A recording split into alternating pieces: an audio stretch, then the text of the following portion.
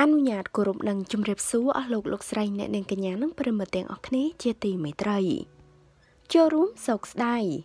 ម្ដាយរបស់តារាសម្ដែងទឹមរដ្ឋាបានទទួលមរណភាពហើយដោយសារតែជំងឺគាំងបេះដូងកញ្ញាទឹមរដ្ឋាជាតារាម៉ូដែលនិងជាតារាសម្ដែងស្រីមានប្រជាប្រិយភាពខ្លាំងជាពិសេសរូបសម្រស់របស់នាងពិតជាស្រស់ស្អាតដោយនាងជាតារាស្រីដែលមានរូបរាងទៅច្រឡឹងស្អាតគួរឲ្យទាក់ទាញ កញ្ញាទឹមរដ្ឋាពេលនេះបានជួបទុកធំ គឺម្ដាយរបស់នាង បានទទួលមរណភាពហើយដោយសារតែជំងឺគាំងបេះដូងនាយប់រំលងអាត្រៀតឈានចូលថ្ងៃទី1ខែសីហាឆ្នាំ2020នេះសូមចូលរួមសោកស្ដាយនិងរំលែកទុក្ខដល់ក្រៀមក្រំនេះផងដែរ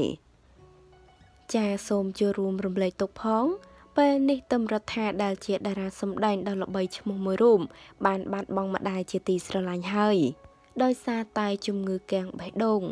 យើងឃើញថាម្ដាយរបស់ទឹមរដ្ឋាគាត់ពិតជាមានសម្រស់ស្រស់ស្អាតខ្លាំងណាស់អ្នកនាងទឹមរដ្ឋាគឺកាត់ទៅតាមម្ដាយពិតជាអាណិនដល់អ្នកមីងក៏ដូចជាអ្នកនាងទឹមរដ្ឋាខ្លាំងណាស់មិនដឹងថាពិបាកចិត្តបែបណានោះទេពេលបាត់បង់ម្ដាយជាទីស្រឡាញ់បែបនេះ ចាហើយតេតងនឹងព័ត៌មាននេះដែរក៏សូមបញ្ចប់តែត្រឹមនេះអរគុណបងប្អូនទាំងអស់គ្នាសូមចុច Subscribe និងរូបកណ្ដឹងដើម្បីទទួលបានព័ត៌មានថ្មីៗជាបន្តទៀតសូមអរគុណសូមគោរពលា